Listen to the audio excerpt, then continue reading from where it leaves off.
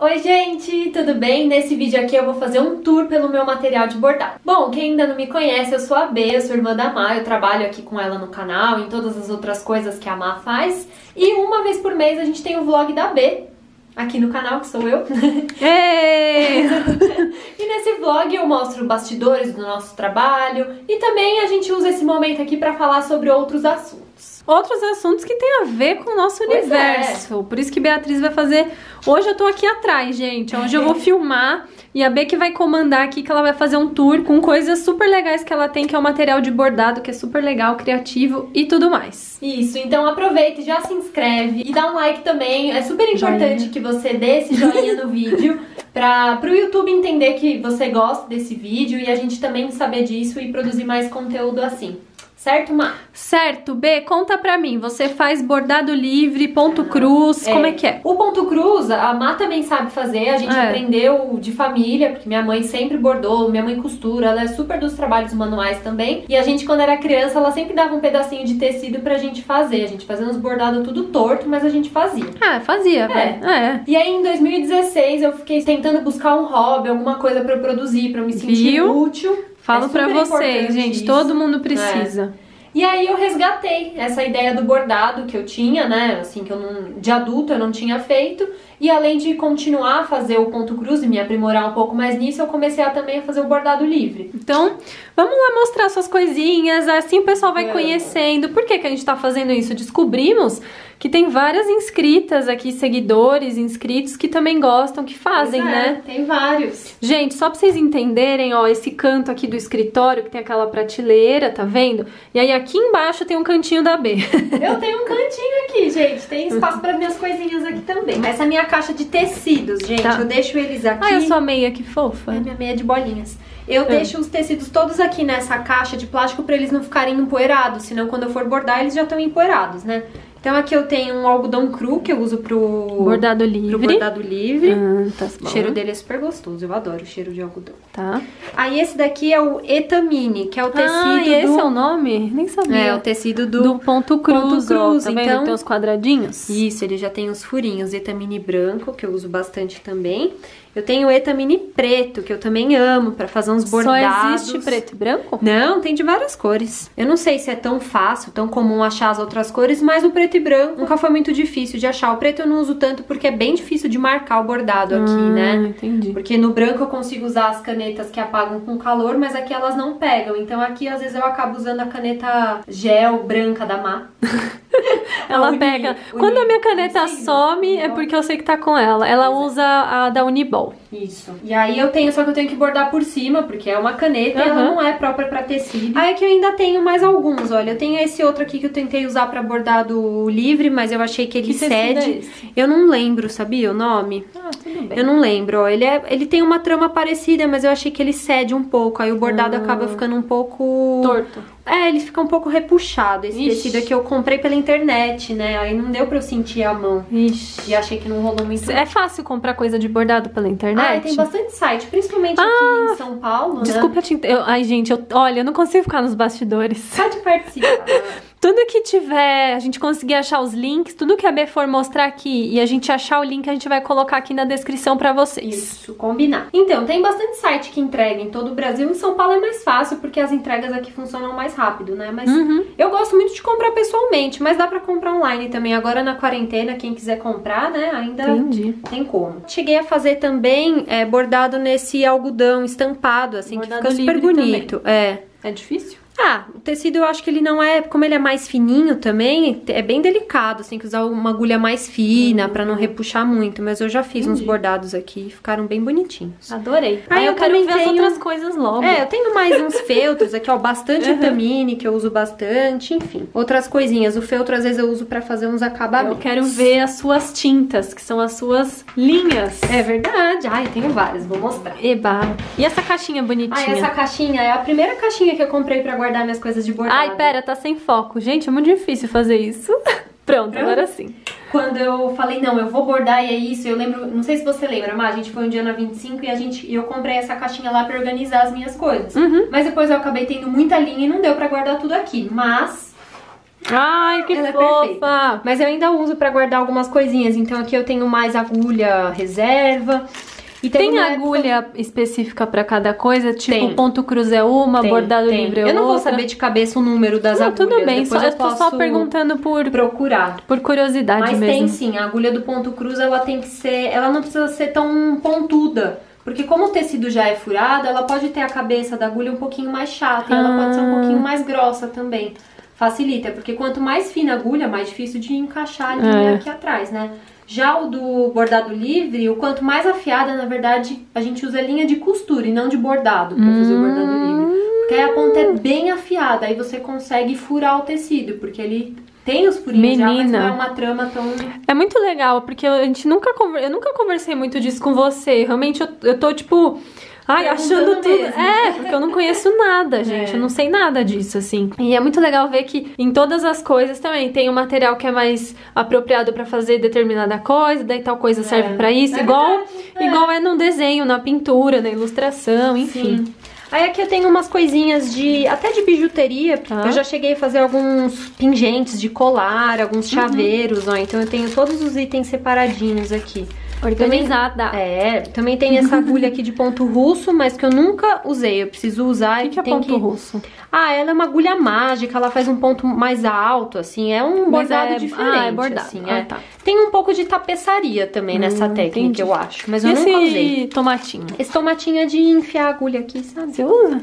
Ah, não uso, porque isso daqui ele é mais pra uma mesa de costura, que Ah, aquilo é, fica realmente ali o verdade. tempo todo.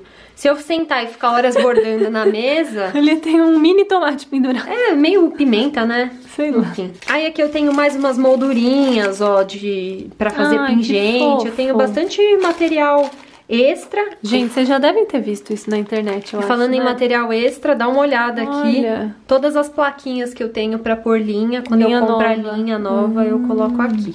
Adorei. Aí tem essa mini tesourinha, olha ela. Ai, meu Deus, é tudo mini. Eu adoro essas coisas. Dá uma olhada, uma tesourinha dobrável. Um charminho. Olha só a engenhoca. Ai, Ai, ela é meio legal. dura.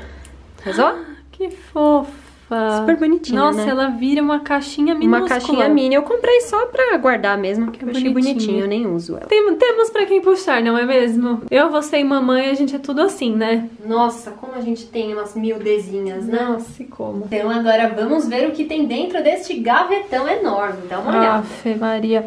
Quando a gente fez aqui o escritório, eu falei, Bê, será que essa gaveta dá? Mas um Já tá cheio. não mas cabe coisa ainda aqui, tá tudo é, bem. tá organizadinho. Então, E aí? começando aqui, eu tenho... Eu já até mostrei no último vlog da B esse bordado. Até hoje não ficou- terminou. Pois é, eu não sabia ainda pra comprar linha, gente. Gente, aliás, vocês já assistiram outros vlogs da B aqui no canal? Se não, dá uma fuçada aqui na playlist de vlogs. A gente tem uma playlist que chama Vlogs.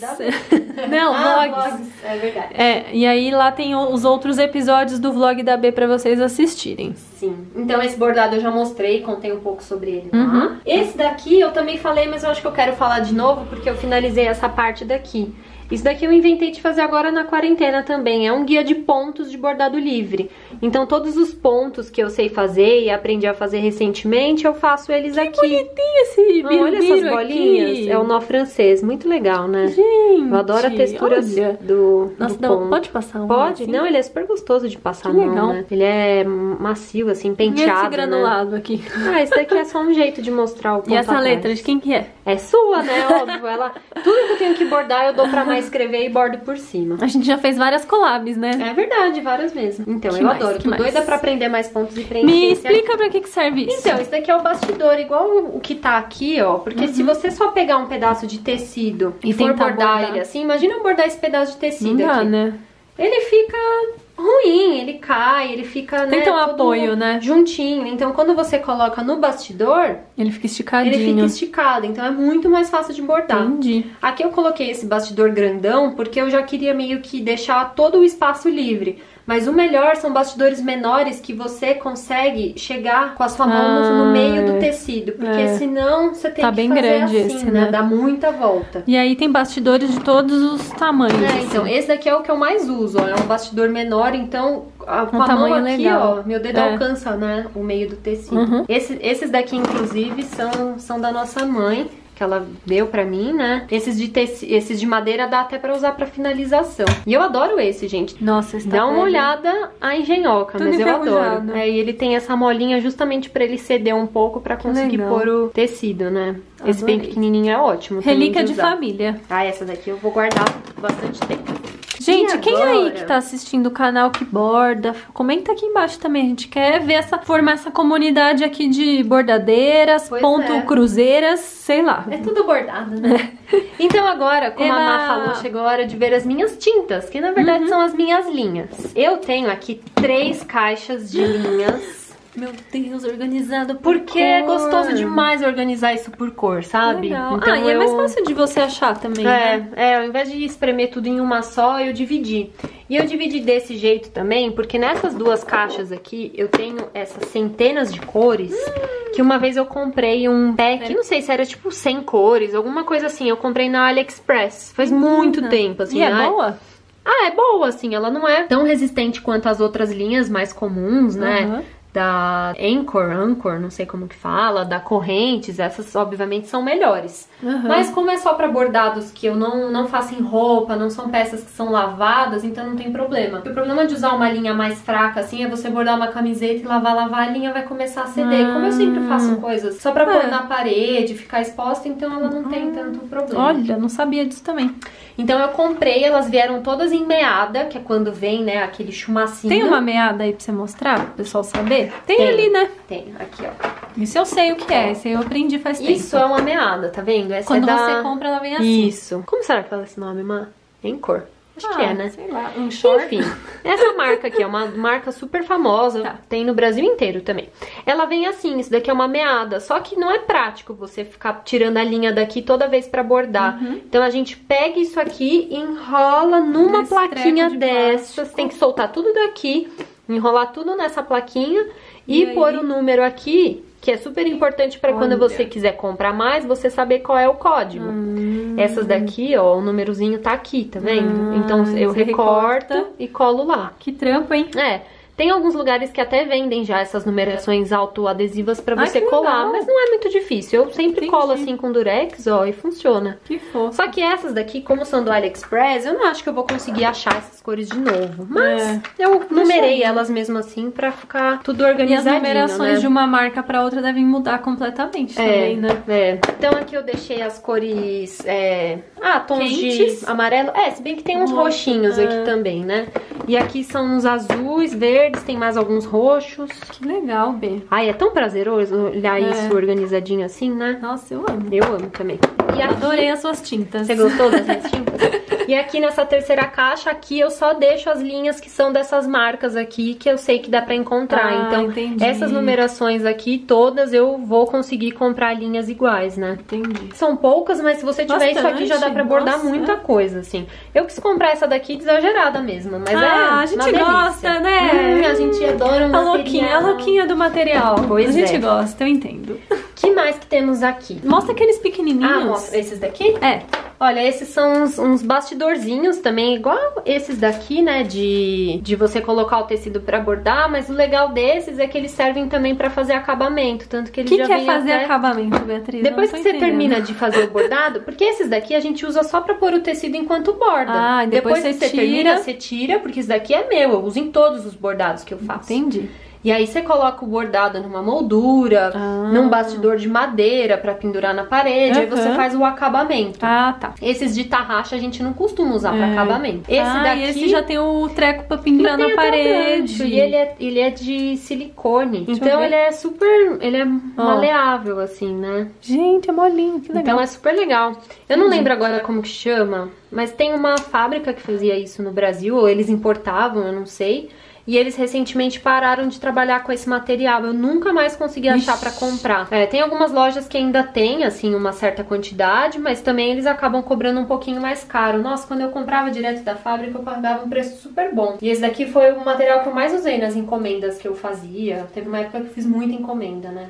É Você ainda pena. faz, Bê, se o pessoal quiser? Ah, até faço. Tem até. Recebi um pedido esses dias de uma encomenda. Tem algumas coisas que eu até faço, assim. Mas também eu tenho. É mais que hobby, é, né? É, super pra hobby. Então, assim, se é uma coisa que eu. Ah, eu já fiz, por exemplo, eu não quero fazer duas vezes o mesmo É. bordado. Então, uma coisa que eu já fiz. Você não ou- trabalha com isso, né? ou Então pra você. eu não tô afim, eu não pego, sabe? Eu prefiro certo. não, não aceitar. Entendi. O que mais que temos aqui? Eu quero essa caixa aí dessa. Que Essa que é daqui é linha também. O que, que é linha perlê? Eu Então, sempre vejo você falar essa isso. palavra. Então, porque essa linha aqui, deixa eu pegar, peraí.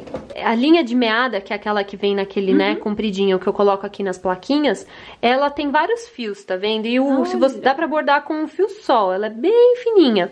Legal dessa linha é isso, se você quer fazer um preenchimento, você usa bastante fio pra render, pra ficar bem cheinho. Se quer fazer só um contorno, um cabelinho, um fiozinho, você usa uma linha só. Então, geralmente vem seis fios. Então dá pra você escolher quantos você quer usar. Já uma linha assim, Qual essa que é a daqui- perlê? Então, perlê é isso aqui, ó. Ah. É, um- é essas linhas de novelo. Ah. Essa daqui, na verdade, como ela é um pouquinho mais grossinha, ela até é usada pra fazer biquinho em pano de prato, sabe? Sei. Você já usa até pra fazer crochê, porque ela já é um Aqueles fio panos de prato com as pinturas tudo maluca. e o biquinho de crochê, ó. Entendi, Essa daqui eu acho que dá. Entendi, eu amo. Deixa eu ver o que tá escrito aqui dentro. Essa é uma linha, ó lá, linha para crochê, corrente Camila. É a linha Camila, ó. Tá bom. Essa é a perlê, que ela é Um fio só. é um novelo, isso, é um fio só, é um Mas é novelo, um fio mas só grosso, né? é, a bege é mais grossa ainda, ó. Hum. Essa daqui também dá pra usar pra bordado. Uhum. Então eu uso principalmente a preta, que é uma cor que a gente usa muito, eu uso muito, né, no bordado. Essa daqui é legal porque você consegue, né, rende bastante pra fazer um- uma palavra escrita, Entendi. um preenchimento grande, mas é só essa Ai, espessura, como ela é né? esperta, você não consegue mudar. E Como aí, você é inteligente? O que, que é isso? e aí eu tenho uma caixa de linhas. Eu nem sei se essa chama perlê também, não tá escrito, mas eu acho que é tipo perlê, sim. Enfim, é de novelo. Essa daqui eu ganhei de aniversário uma vez dos meus amigos que trabalhavam comigo. Tudo! Peraí, tô deixando. Aí, focou. Entendeu? Imagina, Legal. quando eles sabem que a pessoa gosta, eu ganhei de aniversário, gente. Que da hora. Super legal, porque ela vem dois novelos de cada cor. Que lindo. Tem umas as cores, né? é. E é Olha. uma linha mesclada. Então, o legal disso é que todas essas cores é no mesmo fio. Ela tem um fio só também. Então, imagina que eu vou bordar uma palavra, um lettering da Má. Ó, aqui tá rosinha claro. De repente, ela vai começar a Fica escurecer. escura. Olha, Então, fica é um tipo degradê. degradê da aquarela, Ó, menina. vai ficando olha. degradê, ó, que coisa legal. linda. Fica, nossa, dá um efeito muito bonito. Que E você usando uma linha só, então é muito prático, É. né? Antes da gente continuar aqui, já aproveita e dá o seu like aqui no vídeo se você não deu lá no começo quando eu pedi, então agora é a hora de dar esse joinha, hein? Isso aí, vocês estão gostando do vídeo? Esse vlog da B tá tudo, hein? E comenta aqui também, se você sabe bordar, se você gosta, É. quais materiais aqui são os seus preferidos. Cadê as, as bordadeiras desse canal? Bom, e aqui eu tenho esse cantinho com algumas molduras. Ah. Como começou a ficar difícil também de achar esses bastidores aqui, eu comecei a fazer alguns acabamentos Ah, em tem moldura. outros tamanhos também, É, né? então assim, eu gosto, eu gosto Legal. desse acabamento de madeira, que também é um pouco parecido com o bastidor de madeira. Ele já vem com um ganchinho aqui pra pendurar na parede, né? Então eu tenho oval, tenho E aí, isso daí você compra em casa de material de MDF, Isso, né? comprei nessas casas de artesanato Nossa, que aqui em vendem São Paulo tem um de, monte, né? de MDF. Eu já cheguei a pintar, hoje em dia eu não tenho pintado mais, eu deixo na cor crua, eu gosto, eu acho bonitinho. É. Então é legal, eu tenho algumas até com vidro, ó, fica super Que legal. bonito. Então dá pra colocar o bordado lá no fundo, ele fica protegido pelo vidro, então ele não embolora. Porque o tecido É. no, no tempo ele vai embolorar, ele pode sujar, e aí, meu, se sujar não dá pra tirar do bastidor e colocar na máquina, já É. era. Então eu gosto muito dessas caixas aqui, é legal porque dá até pra deixar em cima da mesa, Ah, que legal. assim. Eu adoro. Arrasou. O que mais que temos aqui? Ah, eu quero Não sei. mostrar essa minha Hum. bolsinha aqui. A Má não tem um estojo com os materiais preferidos, eu tenho a minha bolsinha, tá? De materiais preferidos. Ai, eu amo. Na verdade, essa é a bolsinha que eu carrego quando eu tô bordando. Se eu- Ela tá Hum. aqui agora porque eu não tô fazendo nenhum bordado agora. Mas quando eu começo a bordar, é aqui que ficam todas as linhas que eu tô usando Naquele e eu carrego bordado. comigo pra Ah, fazer aquele Porque bordado. você já tem que escolher todas as linhas antes, pôr uma do lado da outra, ver se vai combinar. Pois é. Entendi. Porque também quando eu comecei a bordar, eu trabalhava, né, em uma outra empresa e eu ia de metrô pro trabalho, ônibus, aquela coisa, né? E eu bordava no metrô. No caminho. Então aqui eu guardava tudo, colocava na minha bolsa e conseguia. Ai, que fofa.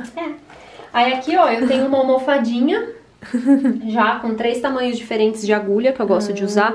Então é só que ela tem a ponta mais é menos pontuda, ela é mais grossa, é a de ponto cruz. Entendi. E aí essas duas aqui, essa é a de costura mesmo, ela é bem afiada, ó, ela tem uma pontinha bem afiada. Machuca essa, É, né? só que aqui, menina, você tem que ter a vista boa, como dizem por aí, pra conseguir encaixar, ó. Putz, nossa, É. o buraco é muito É menor. mínimo. Aqui eu Calma tenho- aí, meninas, deixa eu focar, focou.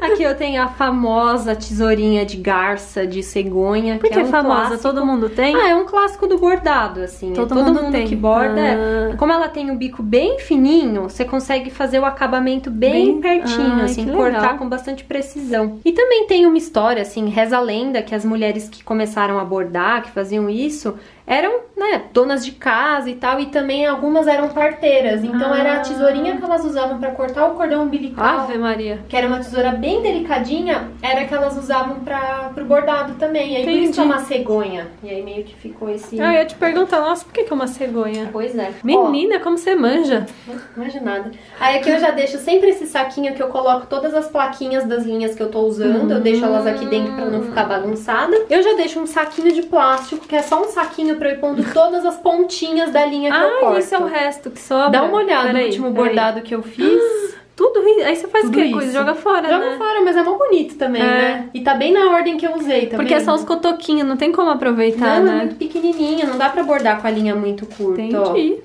Esse pedacico aqui não dá, né? Adorei. Ó, tem mais uma coisinha aqui dentro. Eu adoro. Aqui eu ainda tenho um potinho, eu nem lembro do que que era esse potinho aqui, que tem mais agulhinhas aqui dentro. Porque teve uma Hum. Você vez, perde muita agulha? muito pouco, mas teve uma vez que eu deixava só uma agulha aqui e uma vez eu perdi ela o quê? Dentro do metrô. Ela caiu no Ai. chão no metrô. E eu pensei, putz, eu ainda tenho o caminho da volta e eu queria bordar e eu não vou conseguir porque eu não tenho agulha. Então eu comecei a carregar esse potinho aqui Ah, Com várias. com várias de reserva. Aí Agulha é aqui- caro? Não, é super baratinho. Quanto custa uma agulha? Ai, mas não sei, sempre é um pacotinho daquele. Ai, mas não um sei. pacotinho, mas é Sei. baratinho. Mas é um saco perder, né? É. E aí aqui eu também tenho essa, essa ferramenta da costura que ah, é de soltar, tirar, sei. de desfazer os pontos. Quando Uhum. erra, aqui no meio ela tem uma laminazinha, né? Aqui no meio ela corta, então se Entendi. você erra e quer Pra desfazer, desmanchar mais só que fácil. aí né? joga tudo fora. E aqui eu também tenho, nossa, é saquinho dentro de saquinho. Um saquinho com alguns dedais, porque às vezes dói os dedos. Põe um no meu dedo. Põe. Esse daqui é de plástico e esse daqui é de silicone. É bem Ai, a sua unha tá tão bonita, a minha tá tão feia. É com qual dedo que o. Ah, Ah, no, tá. no dedo que Segura. você usa pra empurrar. Ai, não consigo dar zoom em mim mesma, peraí. Eu costumo usar no dedo anelar, que é o dedo que eu uso pra empurrar a agulha de volta. Hum, Porque quando, conforme você vai fazendo o bordado, a gente empurra ela pra, pra cima, né, no tecido com o dedo. E quando é uma parte do bordado que já tem muita linha, fica duro. Você tem que realmente empurrar. Aí começa a machucar o dedo. é, pode tirar. Que legal.